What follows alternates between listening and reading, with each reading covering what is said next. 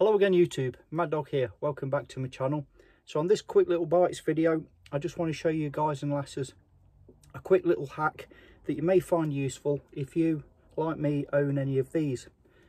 The real cheap and cheerful compasses. Stay tuned.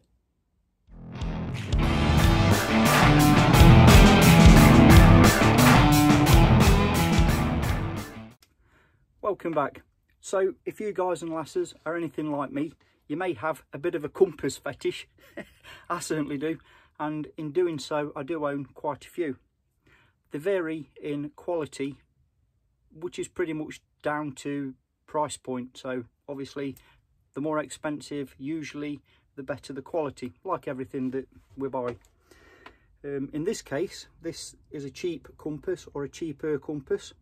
I do like this one in the fact it has the large diameter magnifying lens which is useful for firelighting, reading small detail on a map, etc etc. However, with it being a cheaper and a less quality compass, you can see here the bezel ring, it spins freely, very loose, too loose in my opinion. So the little hack or Mad Dog Bites trick, if you like, if you want to call it that, is dead simple, dead easy to remedy I'll bring you down to the bench and we'll show you that right now. Welcome back. So what we've got going on with this cheaper compass is on the back side you'll see the black retaining ring which holds the centre, the guts, the bezel ring of this compass in place.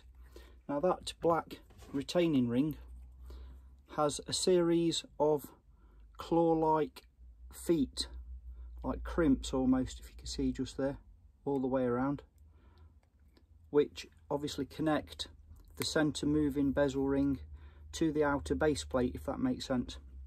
Now obviously depending on how tight those claw-like little crimps plastic cr crimps are gripping the center bezel will de determine how tight or loose that bezel ring is so the little tip or trick or hack, whatever you want to call it, improvement, I'd say, is get yourself a piece of offcut of something like, in this case, this is 36 um, tarred bank line, something around that diameter. And basically what we're going to do is there is a groove all the way around that retaining black ring. So we're basically we're just going to start feeding that bank line into that groove and we're going to press it between those claw segments uh, segments rather. And what we're doing here obviously is the by packing out basically those segments we are making them we're forcing them to grip tighter onto the moving bezel ring obviously creating more friction so we're just going to pack that in there. It's basically packing you know like shimming shimming uh, shimming something up.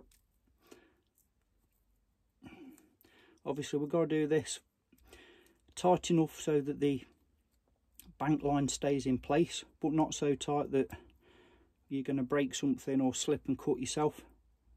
Just take your time nice and easy. Just poking that in there I've guesstimated already the length of this um, bank line because I, I have had to do this on various different compass over the years especially these more budget friendly ones let's say. I mean obviously to avoid this to begin with go get yourself anything by Silva or anything by Suunto and you won't have this issue. You know it's like everything we get what we pay for. However sometimes you have to mend and make do and use what you can afford within your budget at the time. So that bank line is now in place and it has spread those claws out a little ways. So hopefully you can see now that is a lot tighter on its rotating action. I can't spin that freely just with my forefinger. I have to physically move it around.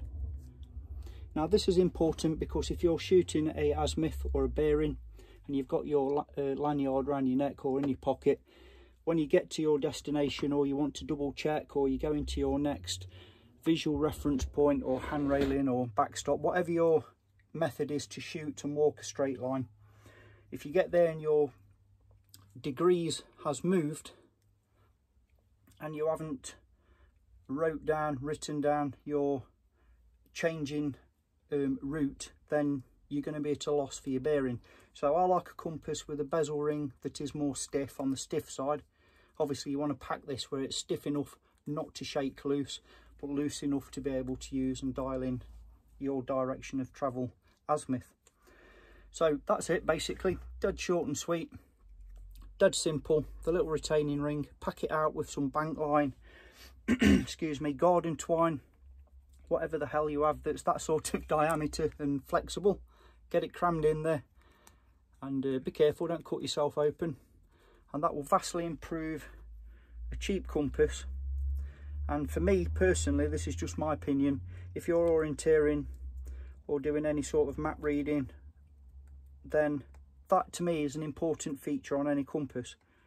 Um, but that's just me.